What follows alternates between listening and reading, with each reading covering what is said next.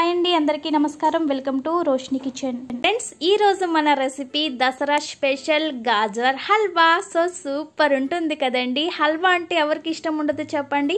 కొంచెం స్పెషల్గా ఈ హల్వాని ప్రిపేర్ చేసుకుందాం. మరి దసరా వచ్చేస్తుంది కదా మీరు కూడా తప్పకుండా గాజర్ హల్వా తయారు చేసి చూడండి. టేస్ట్ అయితే సూపర్ సూపర్ అని చెప్పచ్చు. చాలా బాగుంటుంది. పిల్లలు పెద్దవాళ్ళు చాలా ఇష్టంగా తింటారు. మరి దీని తయారీ విధానం చూద్దాం. ఫస్ట్ అయితే స్టవ్ వెలిగించుకొని ప్యాన్ పెట్టుకొని ఒక స్పూన్ దాకా నెయ్యి వేసుకోండి. నెయ్యి కరిగిన తర్వాత జీడిపప్పు కిస్మిస్ వేసి కొంచెం దోరగా అయ్యేంత వరకు ఫ్రై చేసుకోవాలి. ఈ విధంగా దోరగా అయిన తర్వాత వేరొక ప్లేట్లోకి తీసేసుకుని పక్కన పెట్టుకోండి. ఇప్పుడు ఇదే నేతిలో ఒక కప్పు తురిమిన క్యారెట్ వేసుకొని ఒక రెండు నిమిషాల పాటు బాగా ఫ్రై చేసుకోవాలి. అంటే పచ్చి వాసన పోయేంత వరకు బాగా ఫ్రై చేయండి.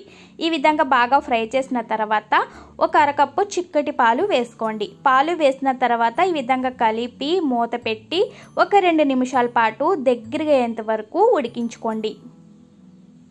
సో రెండు నిమిషాల తర్వాత చూస్తే మనకి ఈ విధంగా క్యారెట్ అనేది మెత్తగా ఉడికిపోతుందండి. ఈ విధంగా ఉడికిన తర్వాత ఒక అరకప్పు పంచదార వేసుకోవాలి. అలాగే ఒక యాలిక్కాయ దంచి వేయండి.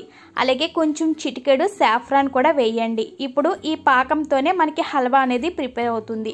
ఇప్పుడు ఈ విధంగా కలుపుకుంటూ దగ్గరగా అయ్యేంత వరకు హల్వాని ప్రిపేర్ చేసుకోవాలి. స్టవ్ సిమ్లోనే పెట్టుకొని ఈ విధంగా కలుపుకుంటూ మనం హల్వాని తయారు చేసుకుంటే సూపర్గా ఉంటుంది. సో చూసారా? ఈ విధంగా ఉండాలి. ఇప్పుడు మనం స్టవ్ కట్టేసుకొని సర్వ్ చేసేసుకుందాం. చూస్తుంటేనే నోరు ఊరిపోతుంది కదండి. మరి దసరా వచ్చేస్తుంది కదా తీయ తీయగా ఈ గాజర్ హల్వాతో మీరు కూడా సెలబ్రేషన్ చేసుకోండి. చివరిగా మనం ఫ్రై చేసిన జీడిపప్పు అలాగే కిస్మిస్ వేసుకుని డెకరేషన్ చేసుకోండి. అంతేనండి. ఈ వీడియో మీకు నచ్చిందా? నచ్చితే ఇంకెందుకు ఆలస్యం? ఒక లైక్ ఇచ్చేయండి. అలాగే మన ఛానల్ని ఫాలో అయిపోండి. మరిన్ని రెసిపీస్ కోసం. Thank you for watching. Bye.